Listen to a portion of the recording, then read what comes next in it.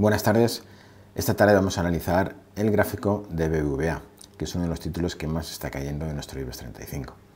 Aquí podemos ver el gráfico de BBVA en términos de muy muy largo plazo y digamos que por el momento las caídas de las últimas 3-4 semanas, movimiento digamos este movimiento lateral bajista de aquí eh, que se corresponde con la zona 9500 del IBEX, 9700 por abajo y por arriba, en principio no es ni más ni menos que una consolidación, una fase de reacción eh, proporcional a la fuerte subida de los mínimos de diciembre. Luego hasta aquí eh, no hay ningún problema con las, con las correcciones. Es más, no descartamos que todavía pueda caer un poquito más hacia la zona de 480, 485, que es donde tenemos la principal zona de control.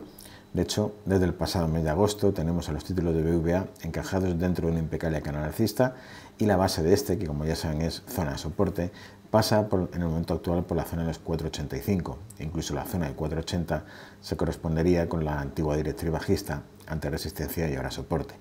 Lo que quiere decir que a modo de resumen, en teoría, niveles en torno a 480, 485 euros deberían ser un nivel de entrada a priori interesantes para intentar de nuevo abrir largos en, en los títulos de BVA.